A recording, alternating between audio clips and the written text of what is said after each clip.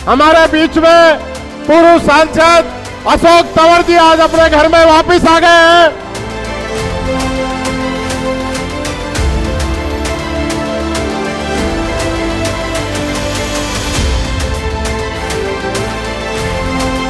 हरियाणा में मतदान से दो दिन पहले एक नाटकीय घटनाक्रम होता है।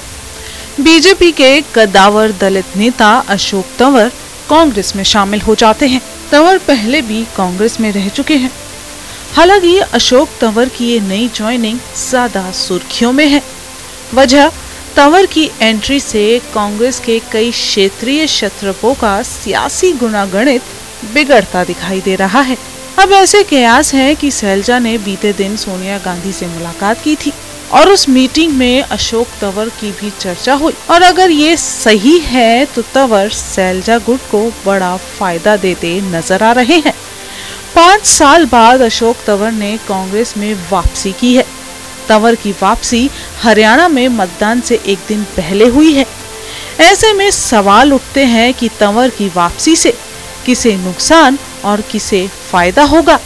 वर्तमान में हरियाणा में दो गुट इस समय चल रहे हैं। पहला गुट भूपेंद्र सिंह हुड्डा का और दूसरा गुट कुमारी सैलजा और रणदीप सुरजेवाला का।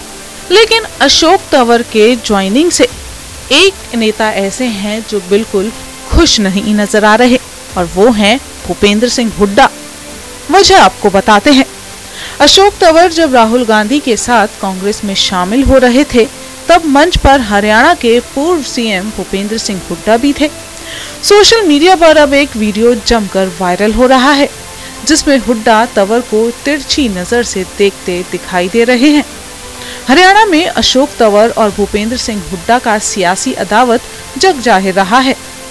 तंवर के कांग्रेस प्रदेश अध्यक्ष रहते हुए भूपेंद्र सिंह हुड्डा के साथ 36 का आंकड़ा था और पार्टी में वर्चस्व को लेकर कई बार दोनों में विवाद भी हुआ। भूपेंद्र हुड्डा ने अशोक तंवर को प्रदेशाध्यक्ष के पद से हटाकर ही दम लिया था। 2019 के विधानसभा चुनाव में कांग्रेस ने हुड्डा को सियासी तवज्जो दी थी और तंवर ने उस समय सोनिया गांधी के घर के बाहर विरोध प्रदर्शन कर दिया। इसके बाद अशोक तंवर ने कांग्रेस छोड़ दी और चुनाव में बीजेपी की मदद की थी। इसके चलते कांग्रेस को हिसार के बेल्ट में अच्छा खासा नुकसान उस समय उठाना पड़ा था। ऐसे में तंवर के घर वापसी से कांग्रेस में गुटबाजी बढ़ सकती है, जो भूपेंद्र सिंह हुड्डा के लिए सियासी टेंशन बढ़ा सकती है।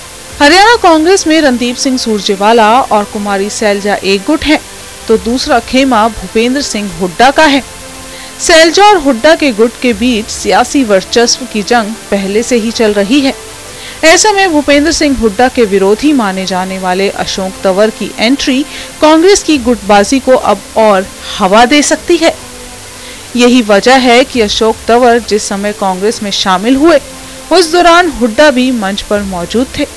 लेकिन हुड्डा ने आगे बढ़कर ना ही तंवर का स्वागत किया और ना ही उन्हें कोई सियासी तवज्जो दी।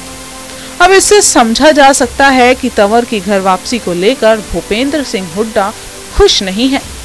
लेकिन तंवर की वापसी से सैलजा को बड़ा फ़ायदा होता दिख रहा है, क्योंकि दलित नेताओं की संख्या बढ़ जाएगी।